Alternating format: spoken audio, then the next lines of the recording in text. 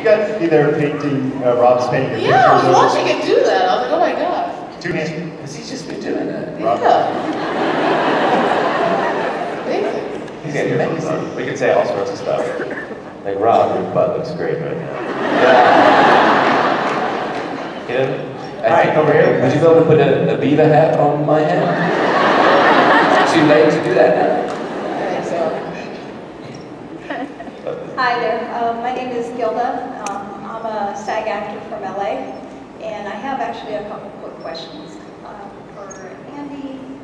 Uh, the first question is, um, I heard you're a method actor, and I wanted to know how do you prepare for an intense scene such as the snot scene?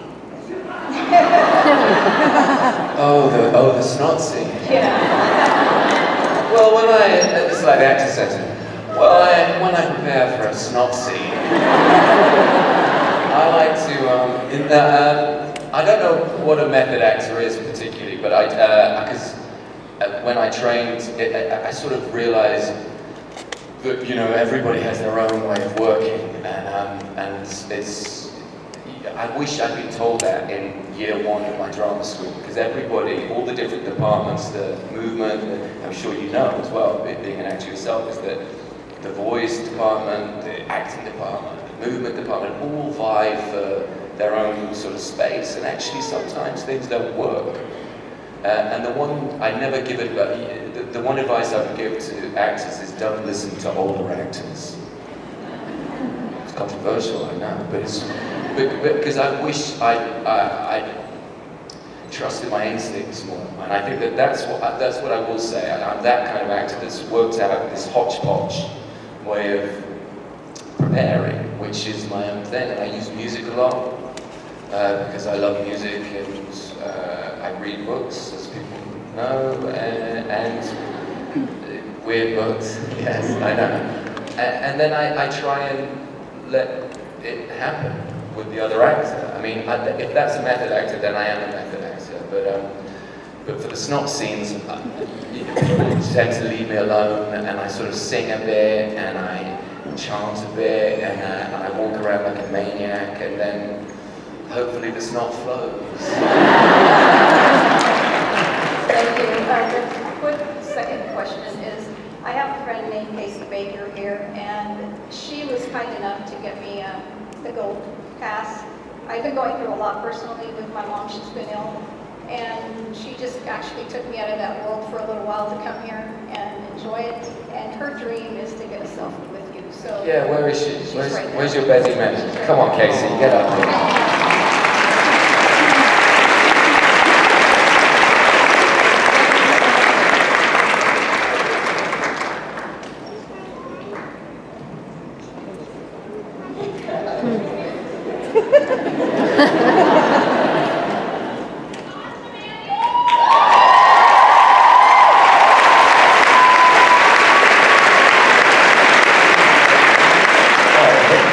Hello, I'm Allison. I'm from Baton Rouge, Louisiana, so I'm from but um, Louisiana South. Um, thank y'all for being here this morning. I know it's early. Uh, my question is for y'all. 'cause Some people don't understand why I don't understand that you aren't your characters. So, as Andy and Danai, what is your least favorite thing about your character and your favorite thing about your character? Uh, well, I, I, I tend to believe that you are what you pretend to be. Uh, I don't know what that means, but it sounded good. And if I do it with a, a, a, a smart enough British accent, everybody goes, yeah, it sounds, sounds reasonable. And then, and then you have a polite clap. You do that sort of, yes, yes, we understand what you're talking about. That's the understand what you're talking about clap. Um, what my? I've learned um, to do things I don't necessarily want to do playing Rick Grimes. That's it, his most admirable quality is the fact that he just keeps pushing himself forward and, and, and people, you know, linking arms with other people and, and, and doing the same thing, you know. And I think that, you know, it started as an indie movie, this thing, and now now we're a, a conglomerate. Now we're here. Yeah, now, now we're a, a, a, an acronym. We're, we're a hashtag TWD, whatever. You know, it's become this, it's become a movement, and I think that um, with that you get, with that, with power comes responsibility. and, and you have to do sort of things that, you, that make you nervous, like sitting in front of thousands of people, trying to be yourself, which is not as my friend over there would know, my, my SAG friend, is not the reason I became an actor. I became an actor so you don't know who I am. I play other people, so you don't get to know who I am. But that's not what this is about. This is a, it's a sharing. It's an, it's an exercise in sort of celebrating something together, which is new. And it's, and so I suppose that's what I've learned uh, playing Mr. Grimes. I know what that means, yes, yes. I don't know if he answered the question, did he? Listen, I mean, you have the answer. I Raise your almost hand. You swore. like you're ready. what? You have an answer to the question? Yeah, I mean, I, I, I was Oh, hearing you can more answer the question. in the character. Ah, I was letting you go first. Um, I, like in the character, I mean, I think that she, uh, in the beginning, there were a lot of things I didn't like about her because I was like, not didn't like, I understood. I didn't judge her. I understood where it was coming from. It was coming from pain. It was coming from unresolved wounds. Uh, so that sort of process for her um, of being very cut off, of being very singular, of being very untrustworthy, I totally understood it as her coping mechanism. And um, so I had a lot of sympathy and empathy for that. But it wasn't the funnest play. I mean, I loved doing the action stuff for her, but like the, the way literally a lot of how she was connecting was to make sure she was not connecting, you know, was sort of her way of navigating the world. That was, that was tricky and hard for me to play. I'm very like, a very gregarious out there type of chick, so I was like, oh God, let me talk. Give me lines. Um, She was a nightmare in between takes. Stop talking.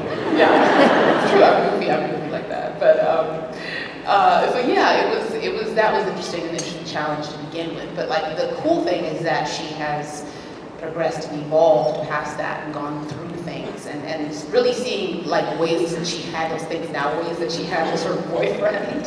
I was like, oh, that's some Michonne knows, Danai. This is this is the way you, you be a woman. So um, that, that's what I really dig about her now. Like, there's a lot of really interesting ways that she's heart and brawn, and um, I think a really cool uh, thing to navigate with her.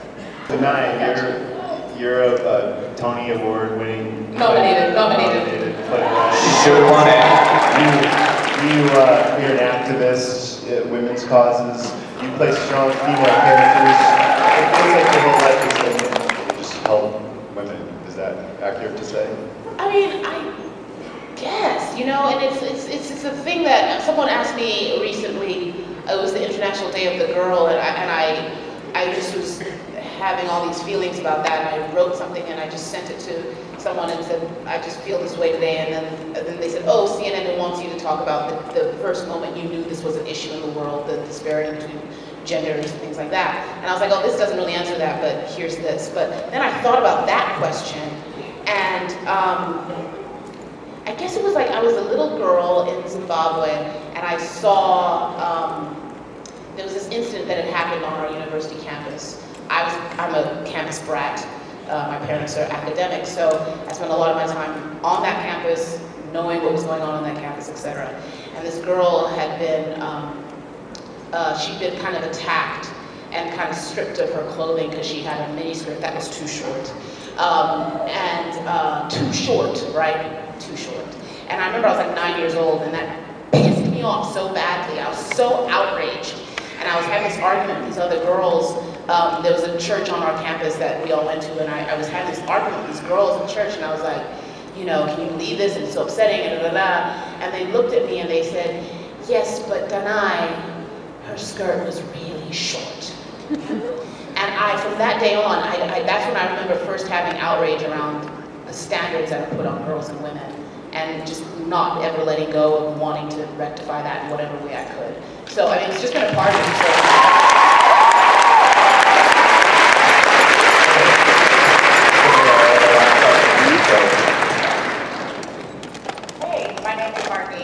from Atlanta, and I'm here with my group of friends from the Tell It to the Dance, the ladies. I remember y'all, I remember y'all. And um, I just have like just something real quick. Is the dream sequence in season seven was the wedding reception, and say yes was the honeymoon. I think you guys are married. Uh, Rick, how do you feel about narking on your future wife about the protein bar, and how do both of you guys feel about the positive feedback from the wedding reception? I mean, not the wedding reception, interracial relationship. it's What? About the protein bar. Yes, I did. Yes, you did. Why would you bring that up now? How do you feel about narking on your future wife, you know, your wife now? It's, you, can only build a relationship on honesty. We know this. Why would Rick do it? Why would? Because he's rigorously honest. He's a sheriff's deputy that can't hit Negan with a gun, but he's scrupulously honest. What do you want from your law enforcement people? You want dishonesty? No. No, no, no. Wait, so you're saying the marriage was when? In my head. Oh, that was. Y'all was like already together, but, uh, Yeah, that- you guys were engaged when he, uh, yeah, y'all were totally engaged when he narked on you. You guys were married in the premiere of season seven, and the honeymoon was a yes. I always thought, I always thought that the, the marriage was to say yes when. One thing. What are we talking about? Everybody's so ab- abstract at the moment. Okay, okay, okay, okay, say, In your say, say head. yes. What's that? Say When you yes, said that is- thing. say yes, is- What the hell? say yes is the episode when we went to The whole find. hour because my mum and dad don't want me to swear, but I'm getting close.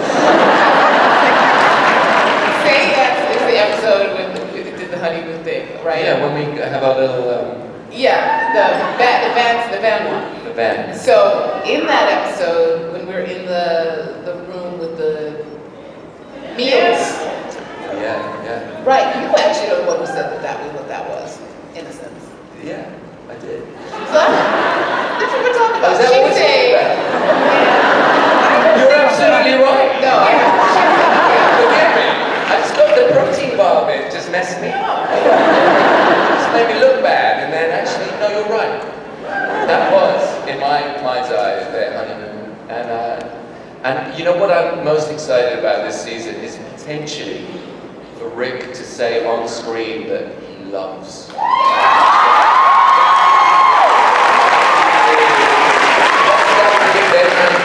You know, I can put, you know, I can rest happy, let the kid take over, and put my cowboy boots on, and we can start repopulating. Yeah, we about time, right? We about time, Rick. Know, Oh, saying. oh, okay. All right, everybody.